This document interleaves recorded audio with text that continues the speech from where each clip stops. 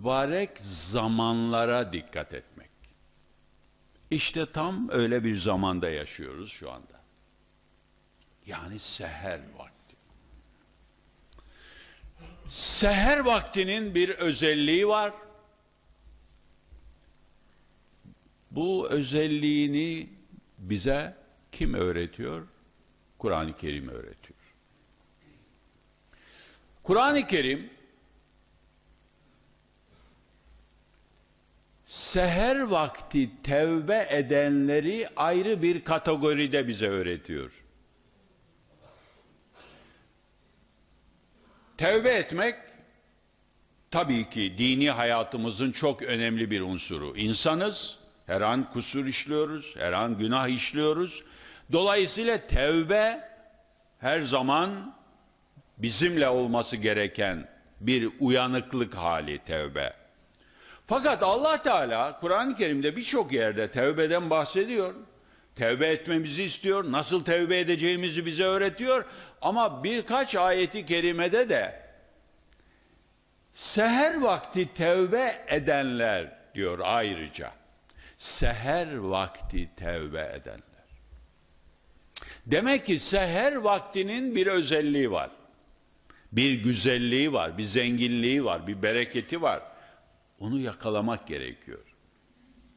Seher kelimesi Arapça sihir kelimesiyle aynı köktendir. Sihir var ya sihir, büyü. Aynı kelimedir. Bu ne demek biliyor musunuz? Bu şu demek. Seher kelimesi bize şunu da öğretiyor ki seher vaktinin sihirli bir tarafı var. O sihri yakalayın. Seher vaktinin bir büyüsü var, büyüsü. O büyüyü yakalamak lazım. Vak günün diğer vakitlerinde yok. Seher vakti bir büyülü vakittir. Gönlümüzü sarar sarmalar.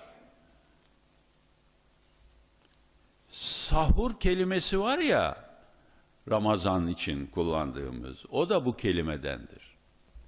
Sahur kelimesi de bu kelimedendir. Kardeş kelimedir yani. Sahurun da bir bereketi var. Onun için sahura kalkmak tavsiye edilir.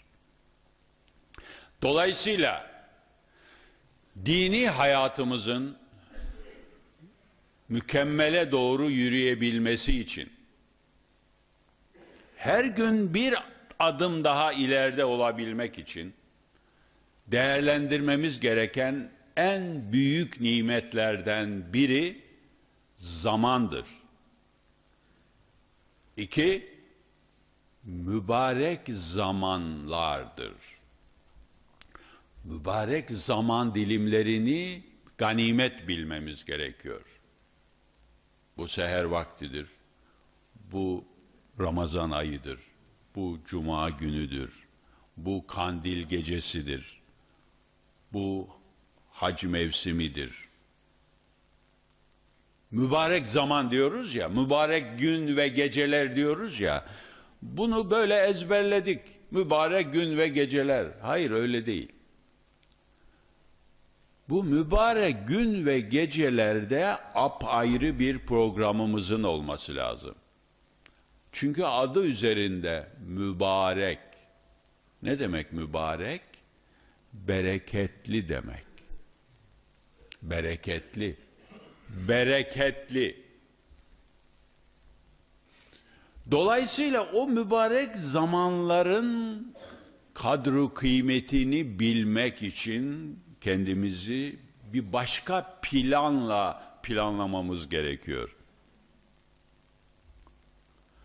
O zaman iç dünyamızda bir güzelleşme meydana gelir. Zaman birinci madde. İkinci madde neydi? Mekan. Mekan. İşte mekandayız. Dikkat buyurun. Mekanlar için de mübarek kelimesi kullanılır, değil mi? mübarek zaman, mübarek ay, mübarek gün terimini kullanıyoruz.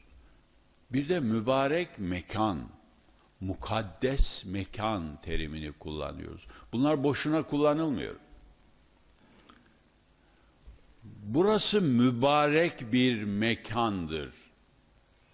Burası Koca Mustafa Paşa'da 100 metre karelik herhangi bir toprak parçası değildir.